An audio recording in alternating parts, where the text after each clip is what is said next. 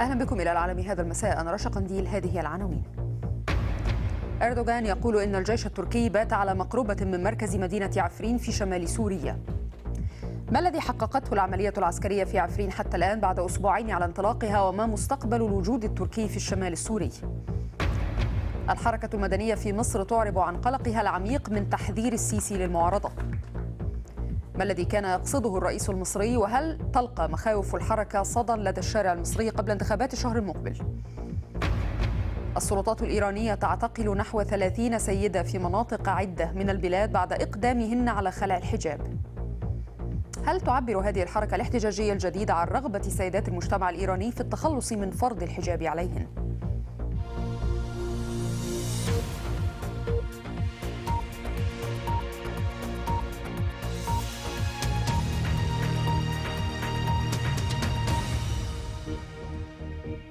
أهلا بكم.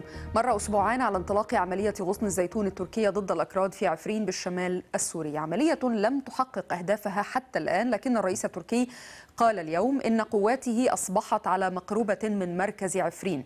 منظمة هيومن رايتس واتش نشرت تقريرا قالت فيه إن لديها شهادات عن إطلاق حرس الحدود الأتراك على الحدود مع سوريا النار على من يحاولون عبور الحدود إلى تركيا هربا من القتال الدائر في عفرين وإدلب.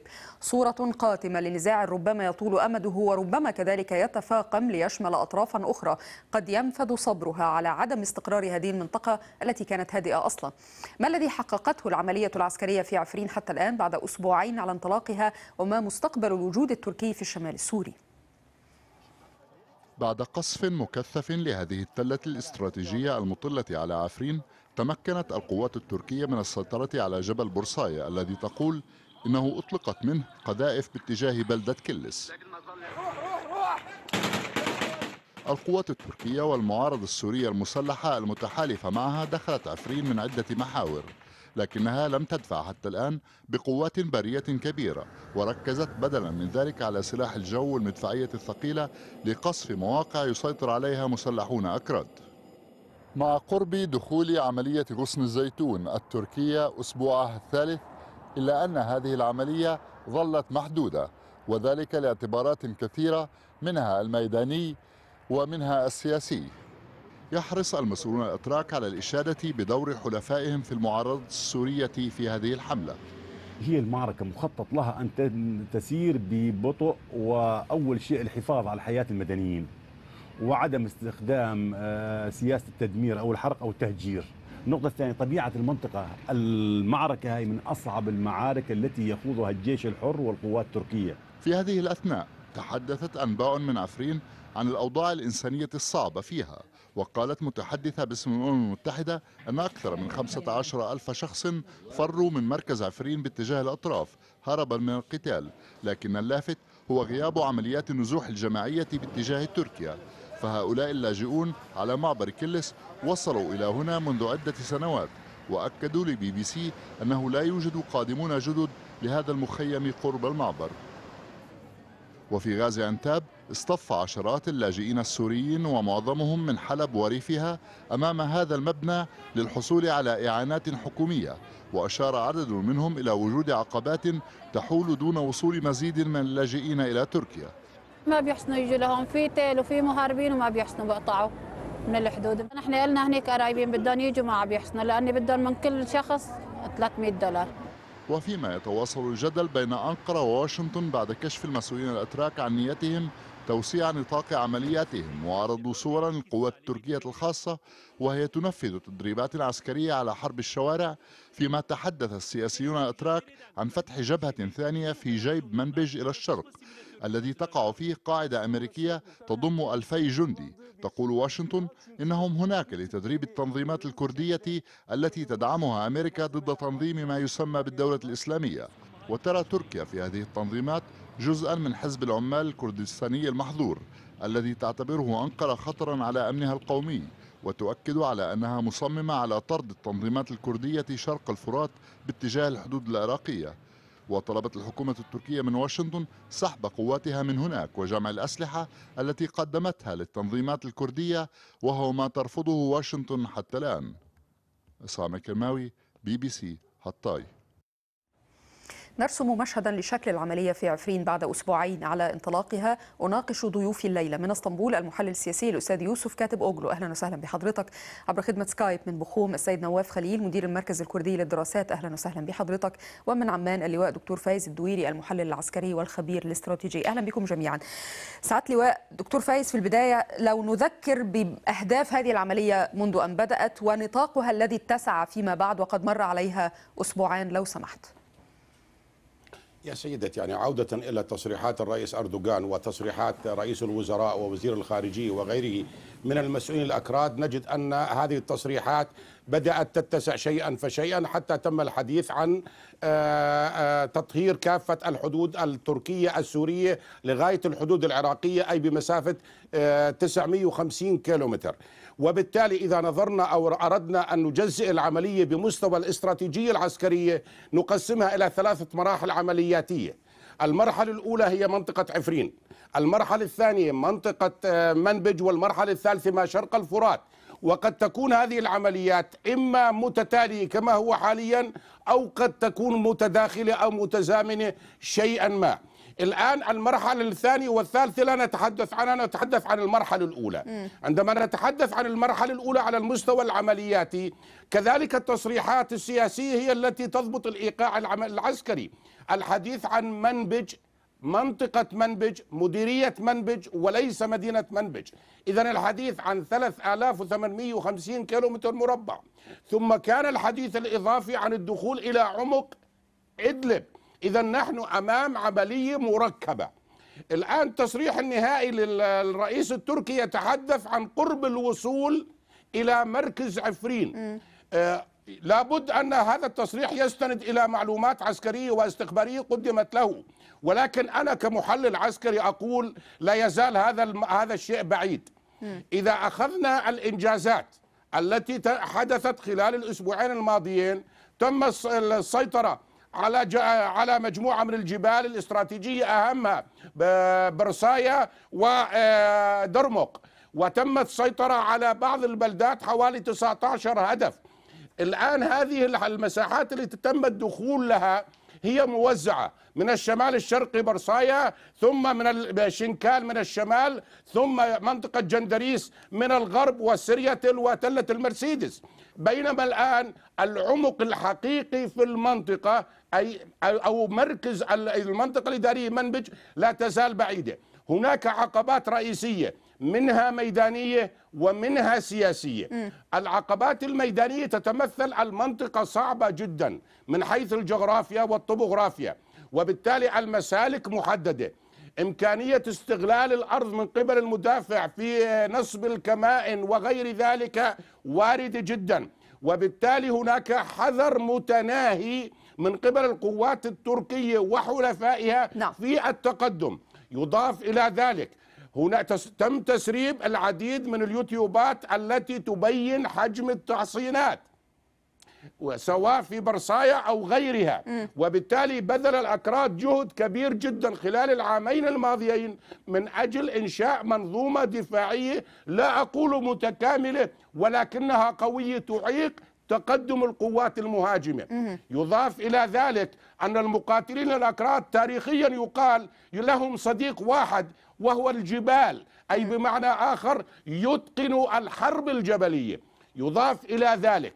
الحذر التركي مرده الحفاظ على أرواح المدنيين أولا.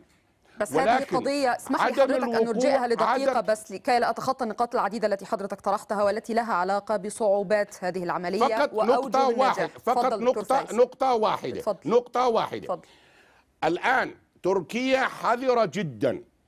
أن أن تكون هناك هناك تنفذ عملية خاطئة يسقط جراءها العشرات من المدنيين مما يعلب الموقف الإقليمي والموقف الدولي المتأهب.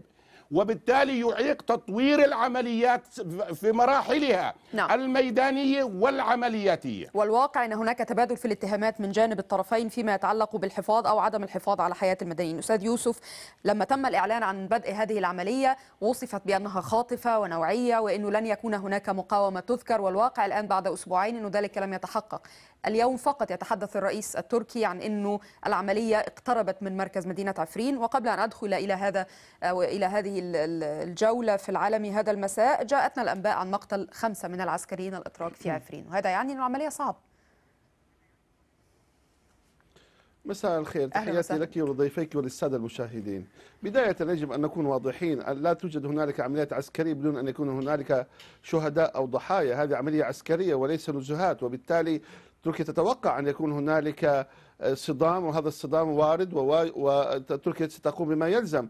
الآن 899 إرهابي تم تحييدهم وبالتالي مقابل ما يتم الآن القضاء عليه من إرهابيين طبعا سيكون هنالك ضحايا وشهداء. هذا واحد. ثانيا أنا الفترة الزمنية بس أنا لأنني اليوم قرأت في وسائل الإعلام ووكالات الأنباء التركية لفظة التحييد والتحييد يعني ماذا؟ القتل. التحييد هو إما أن يكون القضاء عليه بشكل كامل القضاء عليه أو أن يكون هنالك اعتقال أو تقييده أو ضبطه والقبض عليه. المهم القضية هي ليست هنا. القضية عندما نتكلم عن العامل الزمني العامل الزمني هو ليس لم يتم إعطاء عامل زمني من قبل تركيا رغم الضغط من بعض الدول الخاصة أمريكا أنها تريد أن تكون هذه العملية سريعة وخاطفة. وهذا طبعا تم رفضه بالمطلق. لا أحد يملي على تركيا كيف ستكون هذه العملية. لا أمريكا ولا فرنسا. العملية هي ستنتهي عندما يتم القضاء على آخر إرهابي مسلح يهدد الحدود التركية. هذا ثانيا. ثالثا يجب أن لا ننسى بأن من يتشدق الآن ويقول أنها يجب أن تكون عملية خاطفة وسريعة مثل أمريكا ألا تنسى أنها ما تزال في العراق منذ 20 عاما وما تزال في أفغانستان أكثر من 25 عاما. المهم العملية هي تسير وفق منهج محدد وأساسيات من أهمها أن لا يكون هنالك سياسة الأرض المحروقة وأن لا يكون هنالك ضحايا من المدنيين. تركيا تراعي أن تكون هذه العملية فقط ضد من يحمل السلاح وهذا طبعا بحاجة إلى وقت وتنسيق وجمع معلومات استخباراتية والتأكد من صحة هذه المعلومات ثم القيام بالمهمات التي يلزم عملها. وهذا ستستمر حتى انتهاء من المرحلة الأولى. وأريد أن أعقب على كلام ضيفك السيد فايز من عمان بأن هذه العمليات هي لن تكون عملية واحدة ستكون على عدة عمليات عملية غصن الزيتون هي فقط محدودة بعفرين. أما عملية منبج فسيكون هنالك ما يسمى مرحلة أخرى باسم آخر وما بعد شرق الفرات ستكون باسم آخر وبمنحنى آخر. الخطط لن تكون هي استمرارية بقدر ما أن هنالك سيكون التأكد من أنه تم تطهيرها بالكامل واجتثاث كل من يحمل السلاح وليس فقط بالضرورة أن يكون كردي، كردي داعشي من يحمل السلاح ويهدد الأمن القومي التركي سيتم التعامل معه، إلى الآن سقط أكثر من 93 قذيفة على المدن المتاخمة لتركيا تحديدا الريحانية وكلس، سبع شهداء و90 جريح، الخطر موجود والأسلحة النوعية الآن يبدأ الآن كشفها والآن هي بحوزة الجيش التركي، لا أحد يستطيع أن يقنع تركيا بأن لا يوجد تهديد حقيقي على الحدود طيب. المشتركة. أنا سأنطلق مما قلت حضرتك يا أستاذ يوسف. وإنما تركيا. أستاذ يوسف سأنطلق مما قلت حضرتك أنه بالمنطق الذي حضرتك تتحدث به أنه لكل عملية ينبغي أن يكون هناك ضحايا. لأسأل سيد نواف خليل ما تعليقكم على ما استمعنا إليه الآن خصوصا أنه أيضا من الطرف الآخر. وبالمناسبة من ذكر أن العملية ستكون خاطفة وسريعة ونوعية كانوا ضيوف الأتراك معي في هذا البرنامج وليس الجانب الأمريكي. فإذا سيد نواف خليل العملية مستمرة على الرغم من كل المجهودات الكردية ومتواصلة في مرحلتها الأولى لا تزال لكن تم الإفصاح عن مرحلة ثانية على الأقل من جانب ضيفي اليوم. ما تعقيبكم؟ يعني بالتأكيد مساء الخير لك ولضيوفك وللمشاهدين.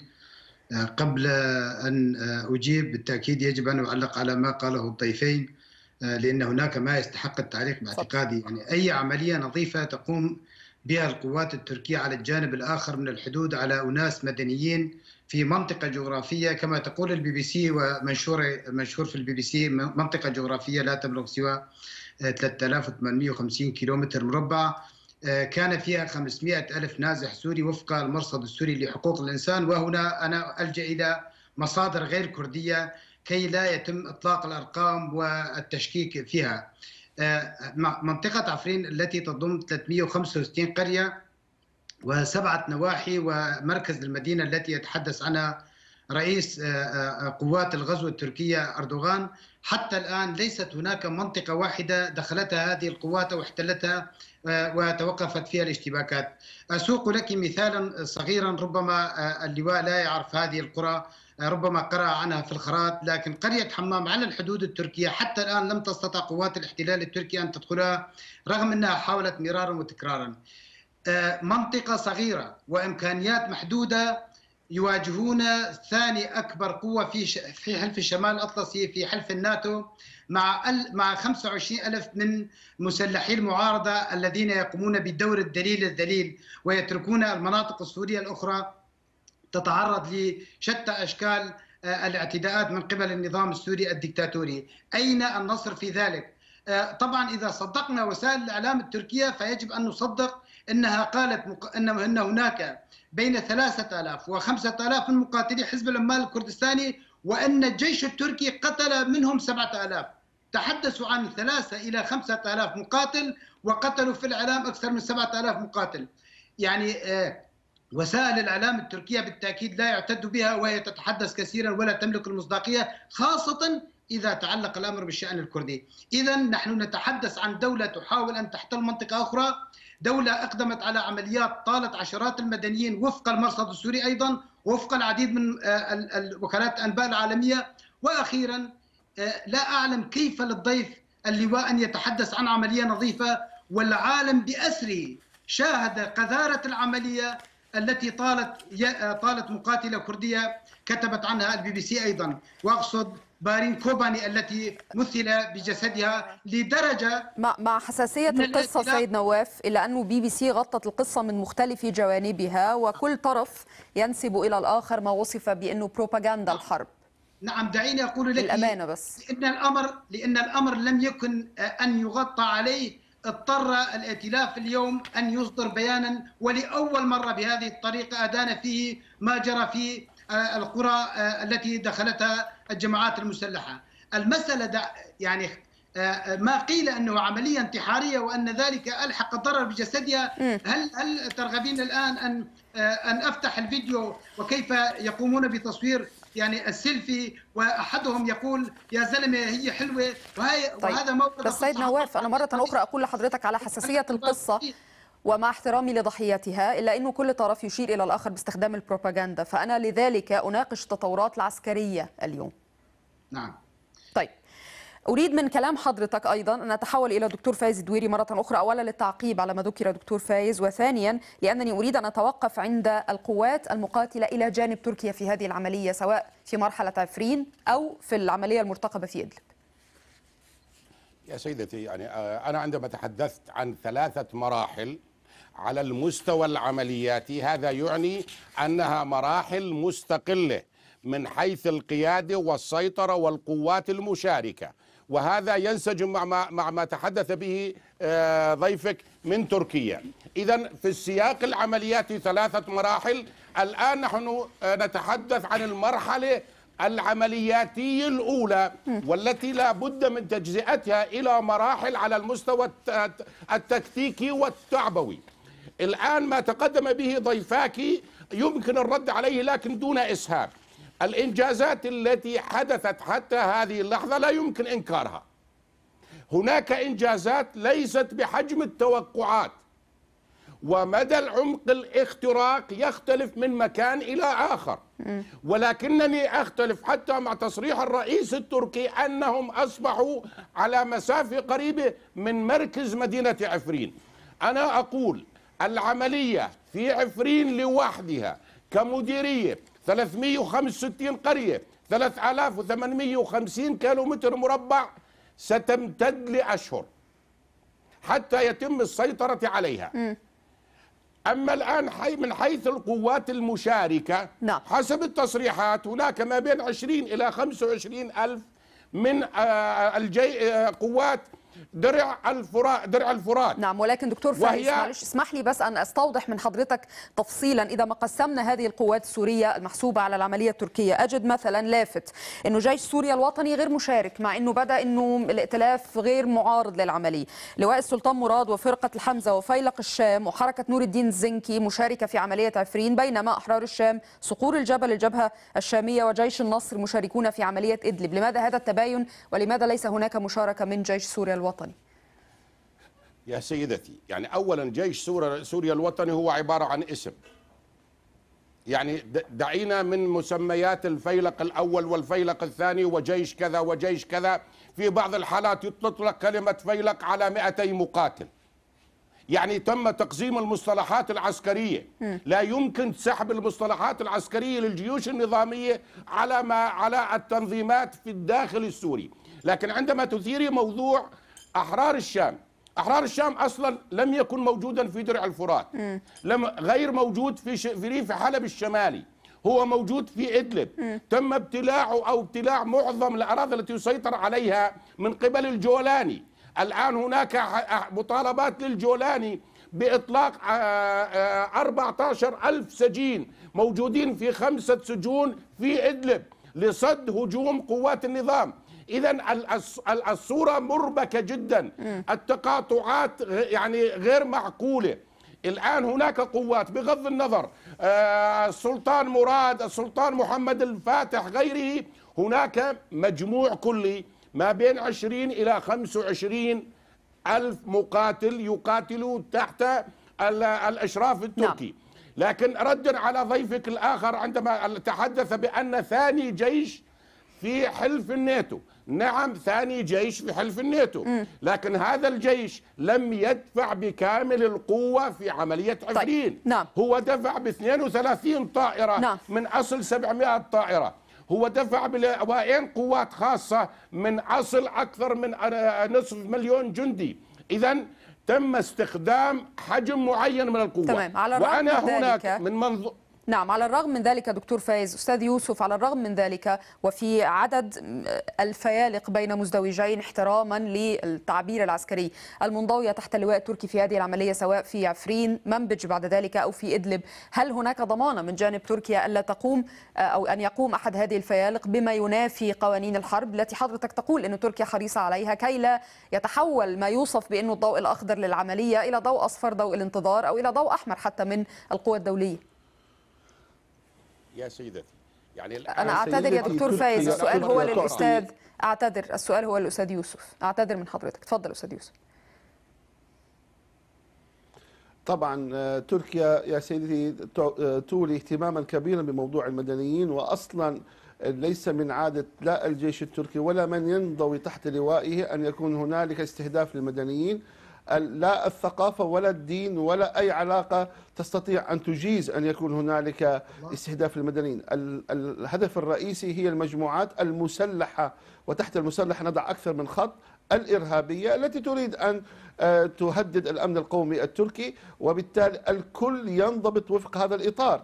تركيا إذا هي موجودة وإذا الجيش التركي هو موجود فهذا هذا يفسر لماذا هنالك بطء في العملية. ورأينا قبل ذلك أيضا في موضوع آه، درع الفرات عند تم حصار الباب آه، استغرقت أكثر من شهرين بسبب عدم استخدام سياسة الأرض المحروقة. ليس كما يتم من قبل التحالف سواء في آه، في الموصل أو غيرها عندما يتم استهداف المستشفيات والملاجئ والمناطق الآهلة بالسكان بحجة أنها هنالك مجموعات إرهابية. تركيا الآن يتم دراسة كل المعلومات الاستخباراتية ولا يتم السماح أن يكون هنالك آه، قصف عشوائي وإنما لأهداف محددة نعم ولكن أستاذ أن يوسف ألا ترى معي أنه حتى لو كانت هناك المعلومات. عملية فردية أو عملية غير محسوبة يحرج ذلك المجتمع الدولي المفترض أنه معني بحقوق الإنسان لأنه رأينا في السابق أنه social media وعملية واحدة وجود طفل غريق كردي واحد فتح ملفات عدة في سوريا لعدة أشهر وبالتالي لا يمكن التقليل من أهمية حتى عملية حتى لو وصفت من الجانب التركي بأنها فردية وبالتالي لا يمكن ضبط كل فرد.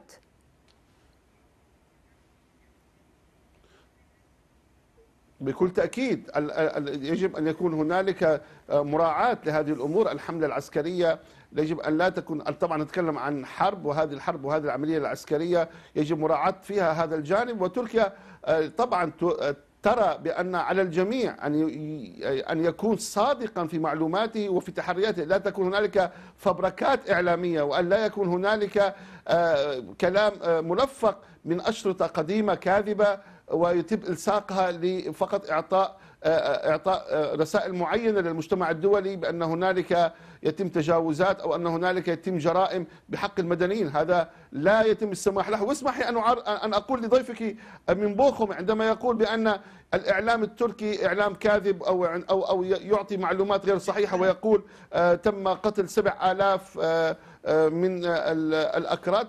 ما أخي من قال هذا الكلام أنا أريد أن أفهم من قال هذا الكلام أما تم الإعلان عنه رسميا من قبل المؤسسة العسكرية التركية هو 899 وأنا ذكرته في بداية اللقاء طيب. هذا ما تم الإعلان عنه الجانب الآخر لا يتم الإعلان هل عن من معلومات تعقيب على ولا ذلك؟ يعني تركيا ولا تمام. المؤسسة العسكرية أي معلومات تتلقفها مفهوم أو تكون بس هناك أخرى. طرفين هناك طرفين في هذا النزاع وكل طرف له آلة إعلامية بالتأكيد وتوصف من جانب الطرف الآخر بأنها بروباغندا. سيد نواف لو سمحت من دون إظهار ولا صور ولا videos آه، تخالف قواعد البي بي سي لأنه الموضوع منشور بما يليق على موقعنا على أي حال. لو سمحت أن ترد على هذه النقطة في إطار اتهامات من الجانب الآخر أيضا للمقاتلين الأكراد بارتكاب أفعال قد تكون آه، مبرمجة أو قد تكون فردية أيضا تخالف قوانين الحرب وحقوق الإنسان.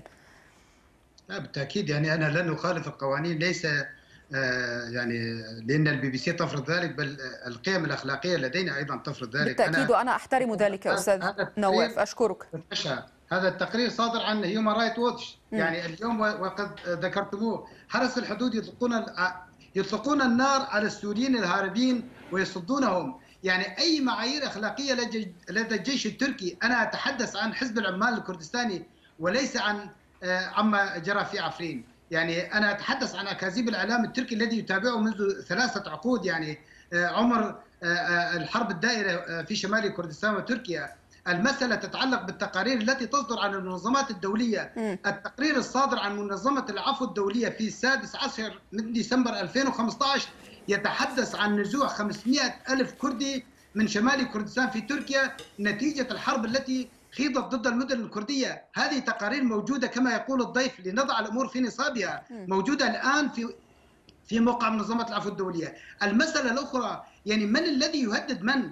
في السابق كان الأتراك والمسؤولين الأتراك ومنظري حزب العدالة والتنمية يقولون أن عداهم يقتصر على حزبي العمال الكردستاني والاتحاد الديمقراطي. لكن ما ما إن ظهر إن رئيس حزب الديمقراطي رئيس إقليم كردستان العراقي السيد مسعود بارزاني الأقرب إلى تركيا والأوثق علاقه مع تركيا. حينما أعلن عن النية في إعلان الاستفتاء طيب هذه قضية مغايرة أستاذ نواف وإن كانت ذي صلة مع احترامي للصلة بين ال- القصتين أنا مضطرة أن أتوقف هنا لكن على أي حال آه، التقارير موجودة في كل مكان سواء في الإعلام التركي الكردي أو على مواقع المنظمات الأممية. فشكرا لضيوفي جميعا وبالتأكيد هذا الموضوع لم ينتهي إلى هذا الحد. سنناقشه مرارا وتكرارا على الأقل حتى انتهاء العملية. سيد نواف خليل مدير المركز الكردي للدراسات من بخوم أشكرك شكرا جزيلا.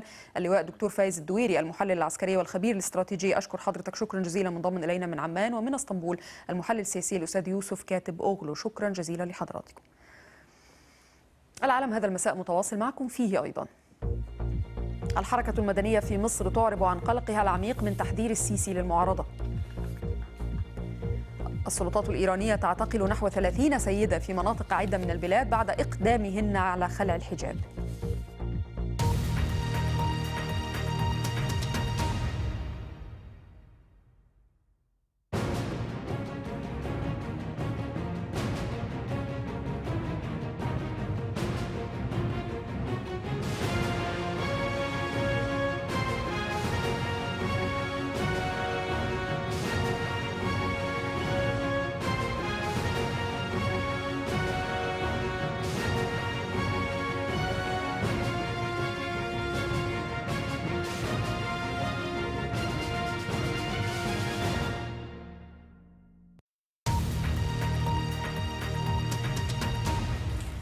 أهلا بكم مجددا. قالت الحركة المدنية الديمقراطية المصرية التي تضم احزابا وشخصيات معارضة إنها تشعر بعميق القلق من تصريحات الرئيس عبد الفتاح السيسي التي تضمنت تحذيرا شديد اللهجه إلى كل من يتطلع إلى تحدي حكمه وفقا للحركة. قالت الحركة المعارضة التي تضم ثمانية أحزاب و150 سياسيا وناشطا في بيانها إن احزابا وشخصيات في الحركة تستشعر عميق القلق من بعض ما قد تحمله هذه التصريحات من دلالات وإشارات. أضافت أنه إذا كان المقصود من التصريح بأن ما حدث منذ سبع سنوات لن يتكرر هو ثورة الخامس والعشرين من يناير فإن هذه الثورة تمثل إحدى أكثر صفحات التاريخ المصري إشراقا على الرغم مما يقوم به البعض في الدوائر الرسمية وشبه الرسمية من تشويهها ورغم إيداع شبابها في السجون. جاء في البيان كذلك أن التفسير الوحيد الذي يمكن قبوله لهذا التصريح هو أن الممارسات الفاسدة واللاديمقراطية والمستبدة لنظام الرئيس الأسبق محمد حسني مبارك التي أدت إلى اندلاع الثورة لن تتكرر على حد ما جاء في البيان. تعالوا نناقش هذا البيان وردود الافعال عليه. من القاهرة ينضم إلي الأستاذ خالد داوود رئيس حزب الدستور. أهلا وسهلا بحضرتك أستاذ خالد. ومن القاهرة الأستاذ محمد أبو حامد عضو مجلس النواب المصري. أهلا وسهلا بحضراتكما. أستاذ أبو حامد من من قراءتي المبدئية للبيان أربعة نقاط مهمة. إحداهما وربما ليست الأولى من من حيث الأهمية إذا كنت تختلف مع ذلك انه المقصود بالتصريح ثورة الخامس والعشرين من يناير. لكن آراء أخرى أيضا من صف المعارضة المدنية رأى انه ربما التصريح هو لقيادات الجيش مقصودا بذلك الفريق. سامي عنان ما رأيك؟ يعني أنا متهيألي قضية ثورة يناير وتقديرها واعتراف الدولة رسميا بها حسمت بالدستور المصري وأنا متهيألي أني لو كان في أي نية لدى أي جهة في مصر إلى يعني عدم تقدير ثورة يناير وأنها ثورة شعبية ما كان كتب في دباجة الدستور المصري هذا التقدير العميق للثورتين ثورة يناير وثورة 30 يونيو. وفي الحقيقة النظام الحالي بكافة مؤسساته هو من رحم ثورة يناير لأن لو ما كانتش ثورة يناير أظن أنه عدد كبير جدا من الأسماء والشخصيات سواء اللي موجودة في السلطة التنفيذية أو السلطة التشريعية أو اللي موجودة في الساحة السياسية بشكل عام ما كانتش هتكون موجودة. بهذه القوة وبهذا الزخم. ولو الرئيس بيقصد شيء من الأمور التي كانت موجودة في السبع سنوات السابقة بالتأكيد هو يقصد حالة الفوضى وحالة اللامؤسسية وحالة اللا دستور اللي ورد في بيان القوى المدنية. بعض أمور توحي أنهم يرغبون في الذهاب لهذه النقطة زي مثلا ما يقولوا أن إحنا عايزين لجنة الانتخابات وهي لجنة قضائية أن تحل. و و و وكأنهم يريدوا أن يعيدوا الدولة إلى مرحلة اللا دستور. فلو الرئيس اتكلم عن شيء هو بيتكلم إنه حالة الفوضى حالة اللا دستورية أو نعم. أو اللا دستور حالة اللا مؤسسات اللي كانت موجودة واللي قد يظن البعض. أنها يعني شيء مستساغ بالنسبة له نعم. إنه هذه الحالة لن تسمح الدولة المصرية وبشكل أساسي الشعب المصري اولا ثم المؤسسات المصرية طيب. بالعودة إليه آه لكن الأمر لا يتطرق بأي حال من الأحوال نعم. لا لثورة يناير ولا لتقدير ثورة يناير أستاذ خالد بما إنه الثوره مذكورة في الدستور المصري في هذه النقطه لو سمحت أن تعقب عليها وثانيا ليس هناك قياسا للرأي العام فادعاء أي طرف أنه يمتلك قوام أو مزاج الشعب المصري منفردا. أعتقد في ذلك الكثير من المغالطة. وفقا لأنه قطاع من الشعب المصري كبيرا كان أو صغيرا يرفض العودة إلى حالة توصف بأنها حالة فوضوية. ما تعقيبكم توافقون ولا ترفضون؟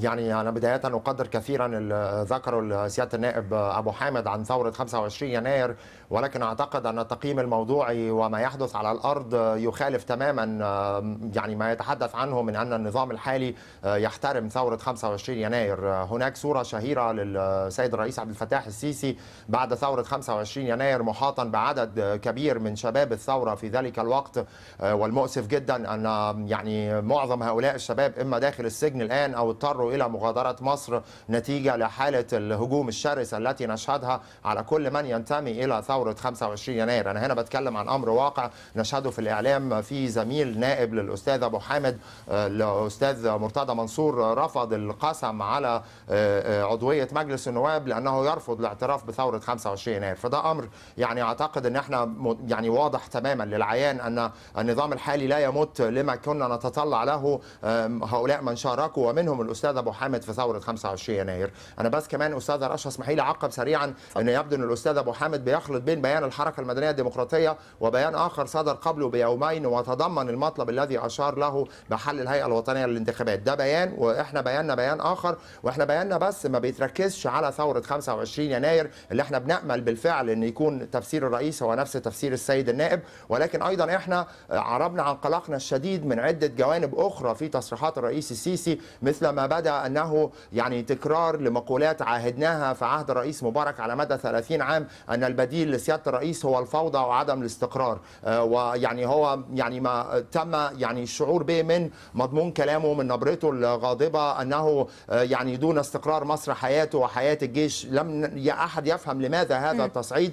أيضا آه، حديث سيادته عن أنه يطالب بتفويض جديد من الشعب المصري. إحنا نفترض ونتمنى كحركة مدنية ديمقراطية تضم عدة أحزاب أن إحنا نعيش في دولة مؤسسات بتطبق الدستور. المسائل لا تتطلب تفويض. الرئيس لديه ما يكفي من قوانين لمكافحة الإرهاب. أيضا وأخيرا قول الرئيس أنه ليس سياسي وأنه نعم. لا يتحدث كلام سياسة. هذا أيضا يعني إحنا ب- أحزاب سياسية. فيعني كون الرئيس جمهورية ليس منصب سياسي هذا أمر أيضا بدا مستغرب بعض الشيء وهذا ما عبرنا عنه في البيان. إحنا دعينا الشعب المصري لمقاطعة الانتخابات لأنه لا توجد انتخابات في مصر. نحن مقبلون على استفتاء. نحن عدنا إلى ما هو أريد من المربع صفر ونحن خالد. فقط أن إحنا بنعبر عن رأينا للشعب المصري بشكل سلمي تماما. وهذه نقطة مهمة للغاية إلى جانب نقطة عدم التخصص السياسي. أستاذ أبو حامد آه، النقطتان بدايتان من جانب أطياف متعددة من المعارضة ن- على يعني على أحسن تقدير نقاط غامضة. أولا أنه منصب الرئيس هو منصب سياسي بالأساس وممارسة العمل السياسي هي لب هذا المنصب.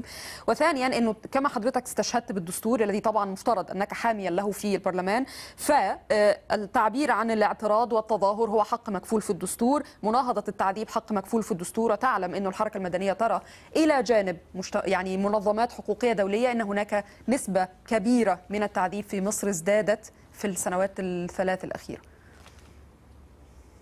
يعني خ- خليني يعني أبتدي كلامي بال- بالتحية للأستاذ خالد وهو صديق عزيز يعني. لكن في الحقيقة آه، كلمات الرئيس ما كانتش آه، موجهة ب- بشكل آه، مباشر لبيان بعينه وإنما آه، بشكل واضح جدا الرئيس كان بيتكلم على أفكار وبيانه أو كلماته الحاسمة مش الغاضبة وإنما الحاسمة آه، بترد على من يتبنوا هذه الأفكار اللي بيتبنى إن هو يعيدنا إلى آه، نقطة الفوضى يعني. ال- ال- الكلام أيضا عن إنه الرئيس كان في صورة بجواره عدد من من شاركوا في آه، ثورة يناير. حضرتك تعلمي إن ثورة يناير وأظن الأستاذ آه، يعني خالد يعلم ذلك جيدا شارك فيها آلاف المصريين.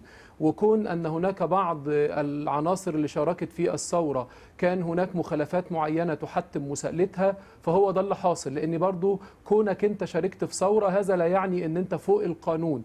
لأن الثورة كان من بين ما تدعو إليه هو احترام القانون والعدالة ومن العدالة أن يخضع الجميع للقانون. قضية إن الرئيس قال إنه مش سياسي هو كان بيتكلم في إطار الحسم المطلوب في مواجهة من أراد أن يضر أمن مصر.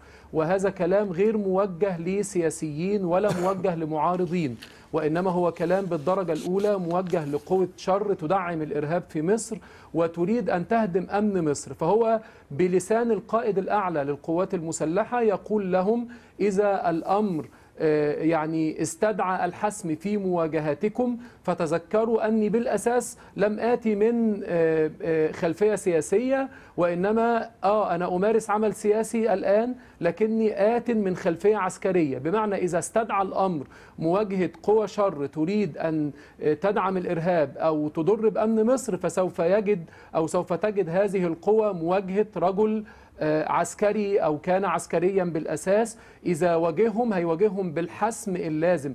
وهذا كلام لا يحمل على أنه إساءة للسياسة لأن في نعم. الآخر كل من تصدى لمنصب عام هو يمارس سياسة وحضرتك ما تخرجيش الكلام عن سياقه. كان بيتكلم عن مواجهة إرهاب كان بيتكلم عن قوة تريد أنها تسقط آه، آه، أمن مصر وأمن الشعب المصري ولما يقول آه، دون ذلك آه، أنا والجيش المصري فهذا دليل على أن الكلام غير موجه بأي حال من الأحوال للسياسيين لأن الجيش المصري ما بيواجهش السياسيين ولا بيواجه المعارضين. الجيش المصري بيواجه الأعداء اللي بي بي بيستهدفوا أمن وسلامة الشعب المصري. أستاذ خالد هل هذا خروج عن السياق؟ في وقت واضح إنه بين الكثير من الألفاظ النابية التي حاولت أن أستخلص منها نقدا آه، موضوعيا. كان هناك ما وجه بالأرقام إلى عدد من أعضاء الحركة المدنية. بوصفهم كانوا مرشحين سابقين في انتخابات سابقة وأشير إلى أنهم لم يحصلوا على دعم شعبي يذكر وبالتالي يعني المعارضة غير مسنودة من الشارع. نعم يعني أستاذة رشا نحن نتحدث بكل صراحة. على مدى السنوات الأربع الماضية آه، لا يبدي الرئيس السيسي اهتمام آه، بتنمية العملية السياسية والديمقراطية في مصر كما يبدي مثلا بقضية التنمية الاقتصادية وبالطبع قضية مكافحة الإرهاب. اللي أنا بتفق مع الأستاذ أبو حامد أن كل المصريين تقريبا متفقين على ضرورة وأهمية مكافحة الإرهاب. بس مرة تانية يا فندم إحنا لما عملنا ثورة 25 يناير بعد تجربة طويلة مريرة مع الرئيس مبارك اللي مكث في الحكم 30 ع- عام آه، كاملة من دون محاسبة أو رقابة إن إحنا كان يبقى عندنا مؤسسات قادرة على مساءلة الرئيس ومحاسبته على ما يقوم به من تعهدات. يعني لما سيادة الرئيس يروح آه، يبني قناة موازية على سبيل المثال ب 8 مليار آه، دولار من أموال الشعب المصري ويقول لنا إن ده هيضاعف دخل قناة السويس خلال عدة سنوات أنا أتصور إن سيادة النائب يروح يتساءل بعد يعني عدة سنوات أين الزيادة في دخل قناة السويس. إحنا ده يعني على سبيل المثال عندما يتحدث السيد الرئيس عن أن مؤتمرات ستأتي لنا بمليارات الدولارات من الاستثمارات. نتساءل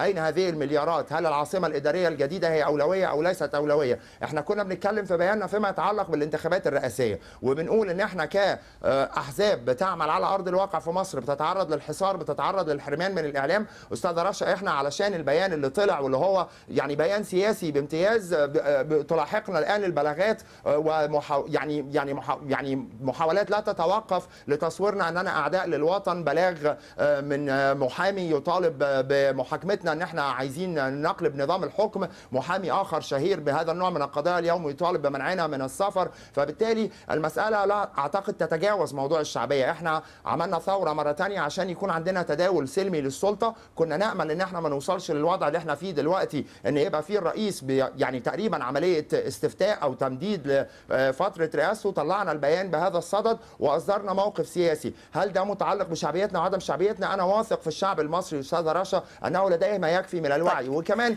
غير كده المسألة بسيطة. في منافسة في الانتخابات الشعب هيروح إلى الصناديق. مفيش منافسة زي سنوات مبارك الناس بتقعد في البيت. الموضوع مش يعني فيزياء نعم. نووية. زي نعم. واحد زائد واحد يساوي اثنين أه. للأسف إحنا لا نواجه أجواء منافسة. طيب. آه، مرشح وهذه- يظهر في اللحظات الأخيرة. نعم. كل هذه هي الأمور التي نتحدث عنها. وبغض النظر عن شعبيتنا وضعفنا التي لا نتحمل مسؤولياتها بمفردنا. وبالتالي أستاذ أبو حامد على ذكر السياقات أستاذ خالد وربما الحركة المدنية وربما المعارضين من خارج الحركة يرون أنه ليس هناك سياق سياسي أصلا للتعددية آه، في الانتخابات الرئاسية خصوصا بالتلويح بقضية التفويض مجددا أو تجديد التفويض. وهذا أمر من جانب الحركة يوصف بأنه غير دستوري. طيب خلينا بس نحسم أمر إنه آه، آه، قانون تنظيم الانتخابات الرئاسية الحالي القائم تكلم عن حالة وجود مرشح واحد ولم يسميها استفتاء وإنما سماها انتخابات وقال إن لابد أن يحصل على 5% من إجمالي عدد الناخبين وإلا بيفتح باب الترشح تاني. ف... فأنا بتكلم يا هنا في يا أستاذ قانوني أبو واضح يا ريت القانون أستاذ لم أستاذ وجود مرشح القانون لم يسمي. يعني القانون- أنا بس ب- بسأله أنا لو متفق. معاه بقول له لماذا لو تكرمتي بس عشان ننتهي من. الأول رئيس حزب الوفد وبعد كده مصطفى موسى. تفضل يا أستاذ أبو أستاذ خالد أنا ما في في قطعتش في حضرتك. طبعا أنا أحترم القانون- ذلك بس بس لم- هذا سياق يا أستاذ أبو حامد إنه تم من وجهة نظر المعارضة كان يا هناك القانون القانون يا. فندم. اتفضل. القانون يا فندم لم يسمي هذه الحالة استفتاء. ده رقم واحد. رقم اثنين ال- الرئيس لما بيتكلم عن إنه يعني إذا تريد إن أنا أطلب الشارع مرة تانية هو آه، لم يقصد بذلك أنه يحكم بتعطيل دستور وإنما كما ذكرت حضرتك آه، أصدقائنا في المعارضة سواء في الحركة المدنية أو غير الحركة المدنية لما بيطلعوا يلقوا بياناتهم بيتكلموا بإيحاء أن هذه هي إرادة الشعب المصري. فكأن الرئيس يقول للجميع إذا أردتم أن نستحضر إرادة الشعب المصري كما استحضرناها في 3 7 2013 وفي 26 7 2013 نحن على أتم استعداد لذلك وهو لم يطلب ذلك آه، من الأساس. الأمر الثاني قد يكون هناك بعض مشروعات وطبيعي جدا بما إنها مشروعات نتجت عن عقول بشرية أن تقبل تعدد الآراء. أنا أرى أن قناة السويس الجديدة هي أمر عظيم وسوف يعود استراتيجيا على مصر بخير. الأستاذ خالد يرى عكس ذلك. ده أمر بشري عادي ممكن نختلف فيه في وجهات النظر. لكن آه، هذا لا يعني إن أنا عشان أكون في حياة سياسية حقيقية إن أنا أتبنى وجهة نظره وإلا يبقى التعددية اللي هو بيطالب بيها كأنه هو نفسه بيستغربها. الأمر الثاني الدولة المصرية إحنا كنا بنعيب قبل ثورة آه، يناير إنه في آه، آه، رئيس بيدعم حزب سياسي اسمه الحزب الوطني وفي دولة بتتدخل في الأحزاب بتديها أموال عشان تصنع أحزاب كرتونية وفي الحقيقة الدولة مش مطالبة إنها تتدخل في الأحزاب. فعليا إحنا عندنا آه، 104 حزب. نعم. وفعليا المجال والساحة مفتوحة. أنا بس هسأل سؤال واحد. كانت أين هذه القيادات العظيمة اللي كانت موجودة في بيان الحركة المدنية أو غيره من البيانات طول الأربع سنين اللي فاتوا. هو إحنا طبيعي إن إحنا ما نشوفهمش غير وقت. الانتخابات هو بس؟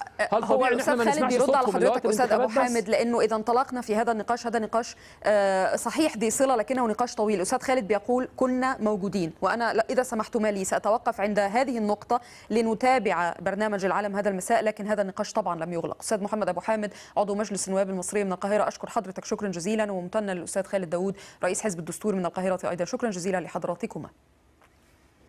ما إن تهدأ الأوضاع الداخلية في إيران حتى تعاود الاشتعال مرة أخرى. إذا اعتقلت السلطات الإيرانية نحو 30 سيدة على أيدي عناصر الشرطة بسبب كشفهن رؤوسهن في مكان عام احتجاجا على قانون يفرض عليهن ارتداء غطاء الرأس. إقدام بعض الإيرانيات على خلع الحجاب بدأ كموجة للتعبير عن تضامن مع ما باتت تعرف بفتاة شارع انقلاب التي اعتقلتها السلطات مؤخرا على خلفية خلعها غطاء الرأس احتجاجا على محاولة فرض ارتدائه على السيدات في البلاد. هل يشعل الحجاب في إيران موجة جديدة من الاحتجاجات؟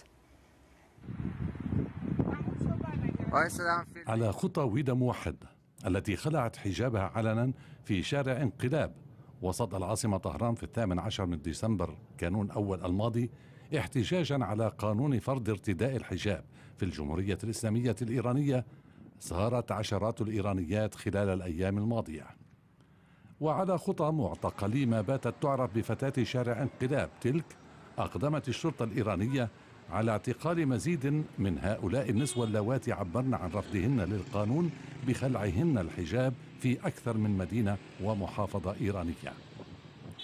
وكالة تسنيم الإخبارية الإيرانية نقلت عن الشرطة القول إن النساء اعتقلن بسبب زعزعة الأمن العام. القانون ليس بجديد فقد جرى تطبيقه في أعقاب اندلاع الثورة الإسلامية الإيرانية عام 1979 أما الجديد فلربما كان التساهل النسبي بتطبيقه خلال الفترة الماضية أو لربما تحدي عدد متزايد من الإيرانيات له والتعبير عن رفضهن له علنا عبر خلع الحجاب. لا بل رفعه على عصي والتلويح به في الساحات والميادين العامة في إشارة تحد واضحة. حملة خلع الحجاب لم تقتصر فقط على مدينة أو محافظة بعينها بل امتدت لتشمل العاصمة طهران وغيرها من مدن وبلدات البلاد مثل عبدان وأصفهان ورشت وبوشهر وشيراز. الحملة التي بدأتها فتاة في الحادي والثلاثين من العمر لم تقتصر على الفتيات والشابات فقط بل شملت نساء من كافة الأعمار بمن فيهن المسنات. كما انضم إلى الحملة رجال داعمون لحراك النساء الرافضات للحجاب القصري. السلطات الإيرانية تقول إنها ماضية بتطبيق قانون قديم هو من عمر الثورة الإسلامية في البلاد وهو جزء لا يتجزأ من ثقافتها وعاداتها وتقاليدها وأعرافها.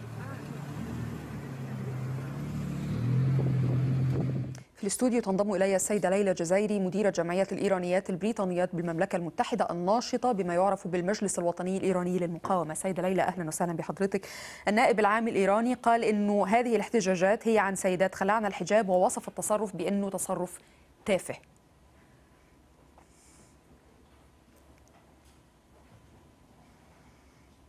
Uh, basically, the general prosecutor of Iran described the actions of those ladies as being ridiculous. Well, uh, first of all, let me say that uh, uh, this uh, arrest uh, is part of the arrest of uh, Yes. Iranian هذه people الاعتقالات. جزء من 29, the campaign الثورة الإيرانية فقد قامت حملة ضد الحجاب والنقاب وهذا جزء من uh, الصحوة الإيرانية التي بدأت منذ نحو شهر وأعتقد أنها ستستمر حتى خلع هذا النظام الحر إن النساء في مقدمة الثورة الإيرانية. فقد رأينا في عام 2009 هذه الثورة. ولأنهم ولأنهن لعبن دورا رئيسيا في هذه الثورة فإن نظام الحكم ثائر عليهم. وهذه الاعتقالات جزء من حملة كبرى للاعتقالات. شملت 8000 امرأة. وما زلنا بالسجن وقتل 53 منهم. بعض خمسة منهن تحت أثار التعذيب. لكن آه، هو أيضا قال إنه هناك قدر من الجهل والتحريض وواضح إن هناك أكثر من إشارة في أكثر من خطوة في الحراك المدني خصوصا حركة السيدات الأخيرة بنزع غطاء الرأس على إنه عادة آم، آه، أو يعني تصرف جاء بوحي من قوى تحريضية من خارج إيران. Well, uh, أي دكتاتور يقول هذا؟ ومنهم النظام الإيراني أيضا. فقد وصفوا هذه الصحوة أنها بسبب تدخل أجنبي. وقد قرر نظام الحكم هذه المقولة ووصفها بأنها أعمال شغب حرض عليها أشخاص أجانب. ولكن نعلم جميعا أن هذه الثورة هي من وحي الأمة الإيرانية. فقد يحكم هذا النظام منذ 39 عاما. تشمل القمع وقمع النساء. لقد ملأنا النساء من هذا النظام الحكم وطلبنا حريتهن. وقد رأينا أن المجلس الوطني الإيراني طالب من الاتحاد الأوروبي أنه حان وقت التغيير وعلى المجتمع الدولي أن يسمع صوت الإيرانيين خصوصا سيدات الإيرانيات. فعلى المجتمع الدولي التأكيد التأكد من اتخاذ الإجراءات الملائمة لإطلاق سراح كل الإيرانيين والإيرانيات من سجناء الرأي.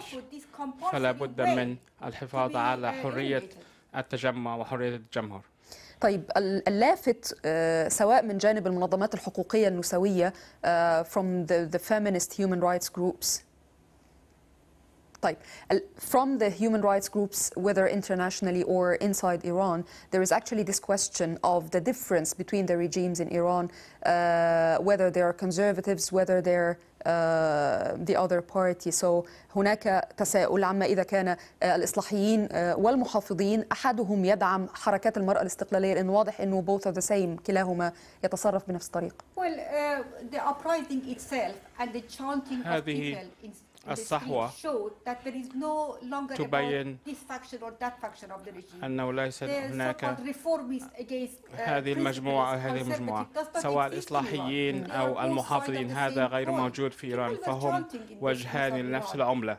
وقد زهق الناس من هذا فصاروا ينشدون الموت لخامنئي الموت الروحاني ربما كان في سنة 2009 it was triggered عن by that.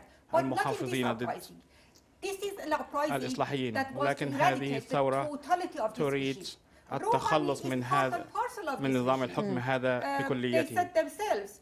فقد قالوا الموت للروحاني فقالوا أنهم سيركزون على المرشد الأعلى. طيب. مع اعتقال هذه هؤلاء السيدات والإفراج عنهن بكفالة كيف ترين هذه الحركة after arresting them and then conditionally releasing them where do you see this movement going the, the movement of those women taken off the veils where do you see this going after uh, arresting them and then conditionally releasing them مرة أخرى كما قلت فأن مريم راجبي طالبت اليوم بإطلاق سراح هذه النساء بدون شرط. وهذا يبين أن النساء لم يعدن يخافن من نظام الحكم في إيران. This 60-something year old woman had فقد رأينا امرأة تبلغ من العمر was saying 60 عاما تقريبا قد خلعت "Come, come and حجابها. وقالت للأخريات تعال حجابكن this, uh, معي uh, uh, فأنا. سأواجه هذا. النظام الإجرامي فعليكن الانضمام. إلي لا تخافن فعلينا الاستمرار. حتى سقوط هذا النظام فليس لدينا ما نخسر فقد خسرنا كل شيء. سيدة عيلة الجزائري مديرة جمعية الإيرانيات البريطانيات بالمملكة المتحدة والناشطة السياسية والحقوقية. أشكر حضرتك شكرا جزيلا. Thank you so much for Miss ليلى الجزائري. Thank you very much.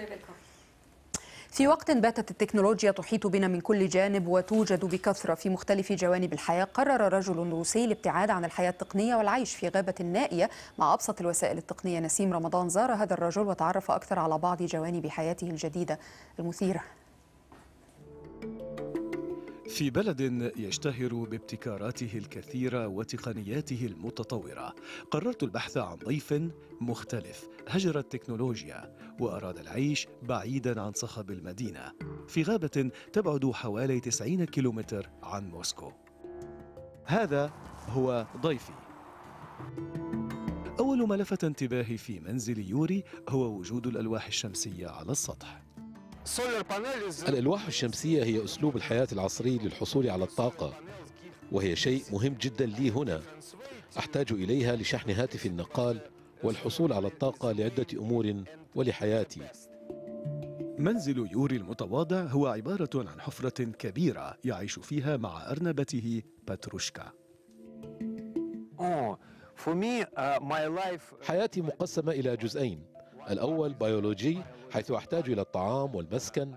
والثاني الحياة المرتبطة بوسائل التواصل الاجتماعي من خلال الإنترنت الذي أعتبره مرآة للعالم وبوابة أتواصل من خلالها مع المحيط الخارجي. بالرغم من قرار يوري الابتعاد عن الحياة العصرية وتقنياتها إلا أنه لم يتمكن من الانفصال تماما عن قناته على يوتيوب.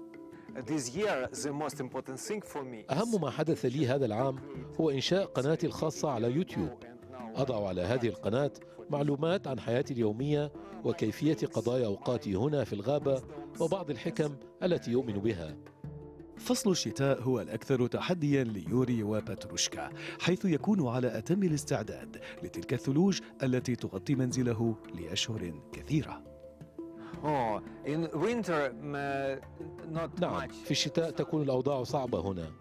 النهار قصير جدا والثلوج تغطي الألواح الشمسية. لذلك أعتمد على هذا المولد الكهربائي الصغير الذي يحتاج فقط إلى حوالي 60 لترا من الوقود سنوياً.